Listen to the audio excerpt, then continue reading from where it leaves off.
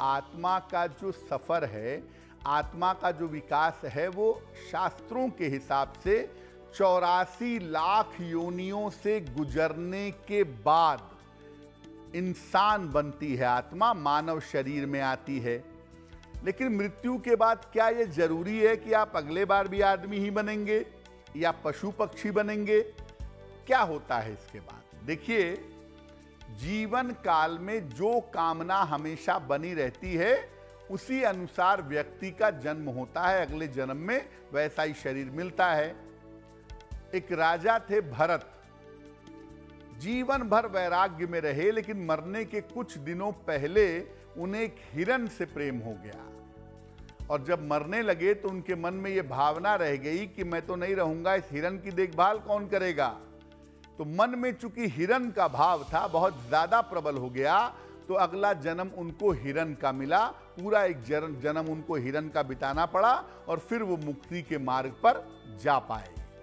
तो जैसी भावना जीवन भर आपकी प्रभावशाली होती है, वैसे ही योनि में, वैसे ही शरीर में आप जाते हैं। मृत्यु के समय व्यक्ति के मन में जैसे भाव होते हैं, उसी प्रकार की योनि मिलती है। शास्त्र कहता है अंते मति सा गति। अंत के समय में जैसा भाव, वैसा ही शरीर, वैसा ही परिवार। अब ज़्यादातर लोग मरते समय अपने बच्चों के बारे में पति पत्नी के बारे में घर द्वार के बारे में सोचते हैं। इसलिए 90 परसेंट लोग ऐसे हैं जो घूम फिरकर अपने परिवार में ही जन्म लेते हैं। परिवार के आसपास ही, बहुत दूर नहीं जाते। जो 10 प्रतिशत विलक्षण लोग होते हैं, जिनको मृत्यु के समय भी ईश्वर का स्मरण होता है केवल वही आगे के मार्ग पर बढ़ पाते हैं। वैसे कुल मिलाकर व्यक्ति दो तरह की योनियों में जाता है, एक प्रेत योनि में और एक पितृ योनि में। पितृ योनियों में गंधर्व, विद्याधर, यक्ष और सिद्ध योनियाँ होती हैं। सिद्ध योनि सर्वश्रेष्ठ योनि होती है। कैसी होती है ये? आप जीवन में जब साधना करते हैं, पूजा उपासना करते हैं तो आपके मन में आता है कि मैं बहुत सारे लोगों का भला कर पाता तो कितना बढ़िया होता। मैं बहुत सारे लोगों की सहायता कर पाता तो कितना बढ़िया होता। अगले जन्म में वो ऐसी स्थिति में पैदा होते हैं, जहाँ वो बहुत सारे लोगों की सहायता और देखभाल कर पाते हैं, सिद्ध योनि वाले लोग इसी क्रम में आते हैं। बहुत सारे लोग कहते हैं, किसी का देहांत हुआ, वो प्रेत बन गया। और कुछ लोग कहते हैं कि हमारे पित्र हैं जो हमें आशीर्वाद देते हैं। इनमें अंतर क्या है? देखिए, व्यक्ति बहुत जब ज़्यादा पाप कर्म करता है और उसके बाद मृत्यु प्राप्त करता है और उसकी तमाम इच्छाएँ पूरी नहीं हुई होती हैं तो अपनी इच्छाओं की पूर्ति के लिए वो भटकता रहता है।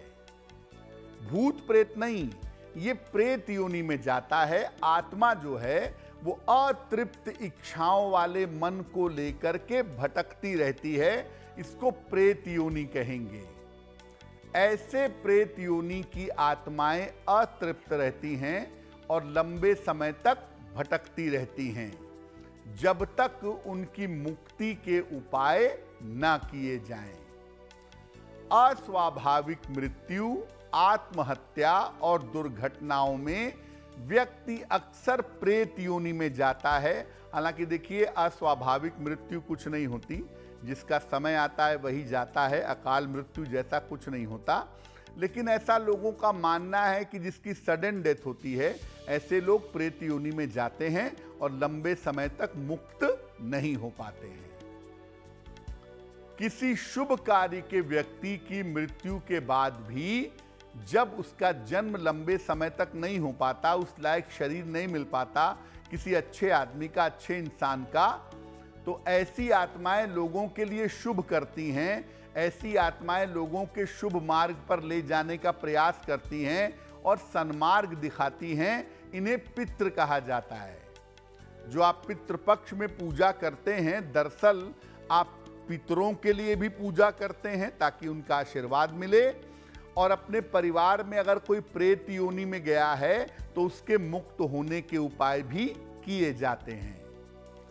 आपके ऊपर आपके पितरों की कृपा है, ये एक सुरक्षा है, और पितरों की कृपा अगर आपके ऊपर है तो हर मुश्किल से, हर कठिनाई से आपके पितृ आपको बचा लेंगे।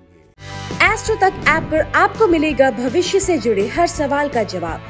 डाउनलोड कीजिए एस्ट्रो तक ऐप और चुटकी में जुड़िए इंडिया के बेस्ट एस्ट्रोलॉजर से।